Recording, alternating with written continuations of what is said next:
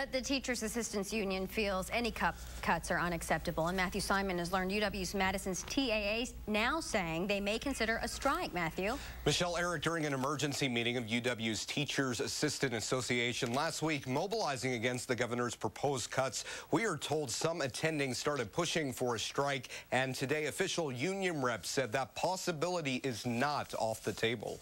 The Teaching Assistant Association is ready to fight tooth and nail against these cuts. While representatives of the UW Madison Teaching Assistants Association are as upset as many here. I would almost rather see a nuclear option here than increasing tuition. To hear Chancellor Rebecca Blank talking about budget cut decisions being considered. If I'm going to talk to you about budget cuts and layoffs, I'm going to look you in the face. The TAA's treasurer says their union's anger may go a step further and turn into action that would have them walking off the job.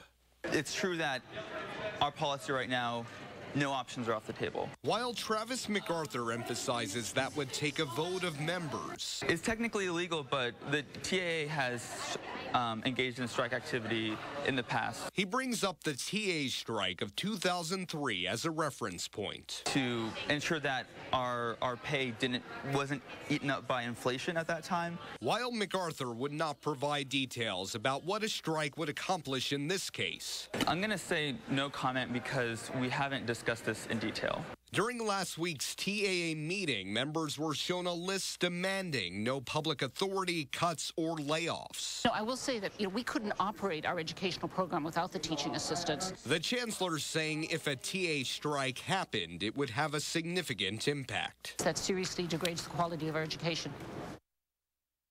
Well, university officials say they would find a way to hold classes if a strike were to happen. The TAA co-president tells me no meetings have been scheduled yet to take a vote. It was emphasized to me a majority of members would have to vote in favor of this for it to even happen. All right, keep us posted. Matthew